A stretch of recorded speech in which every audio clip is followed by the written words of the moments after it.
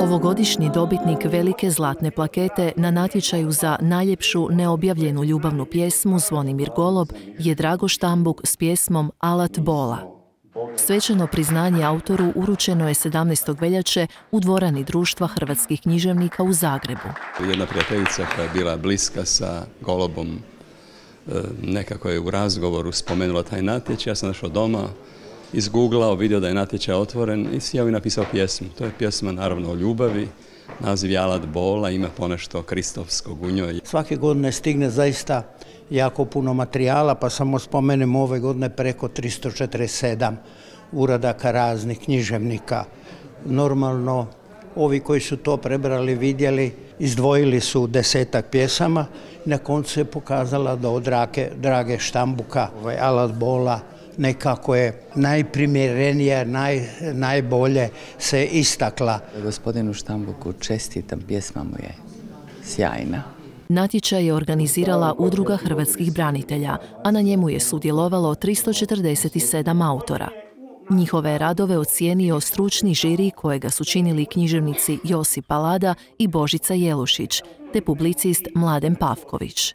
Nagrada za najljepšu neobjavljenu ljubavnu pjesmu Zvonimir Golub eto, udruga branitelja Domovinskog rata 1991. organizira već godinama. Naime, nama je cilj prvenstveno da se čitaju pjesme, da se čita poezija, ali i da svratimo pozornost na jednog od najistaknutijih hrvatskih književnika, pjesnika, antologičara, prevoditelja, šansonjera Zvonimira Goluba. Ovogodišnja pjesma je odabrana prvo po jedinstvenosti pristupa toj temi ljubavne pjesme, a drugo i zbog toga što je drago istaknuti pjesnik, književnik, ambasador i tako dalje, ali to nije toliko važno koliko je uradak važan. Hrvatski pjesnik i diplomat Drago Štambuk do sada je objavio preko 50 knjiga poezije, eseja, antologija i prijevoda. Glavna tema i pokretačka sila njegove poezije jest ljubav što se prepoznaje i u njegovoj nagrađenoj pjesmi Alat Bola. Ljubav jest ono što pokreće svijet. Bez ljubavi svijeta ne bi bilo nas, ne bi bilo to i pjesma.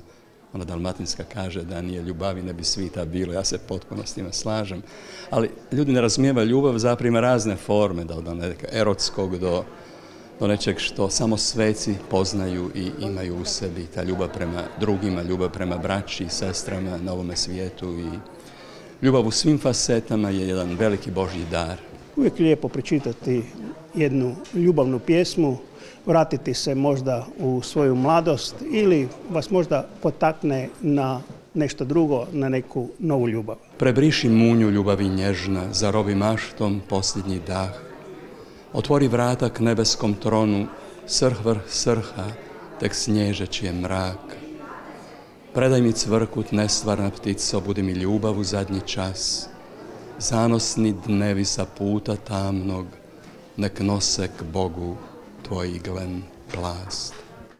Nagrada Zvonimir Golob tradicionalno se dodjeljuje kako bi se potaknulo na pisanje, ali i čitanje poezije te u čast Zvonimira Goloba a ove godine obilježena 90. obljetnica rođenja i 20. obljetnica smrti toga velikog hrvatskog književnika.